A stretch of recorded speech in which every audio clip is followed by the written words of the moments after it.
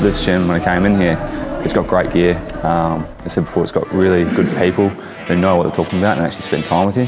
Client awareness, I think that's the big thing. Everyone knows sort of where you're up to. So even if you do, you know, there's a substitute trainer or someone who you don't normally train with, there's there's communication, there's a flow through, so everyone sort of knows where you're up to. I get really well looked after here, that's the thing. I mean, I come in, um, whoever I'm training with that day knows what I, what I need to do, they know the weights, they know the reps. And um, I'm losing weight, I'm getting more muscle, and it's overall a really good journey, and I feel really happy.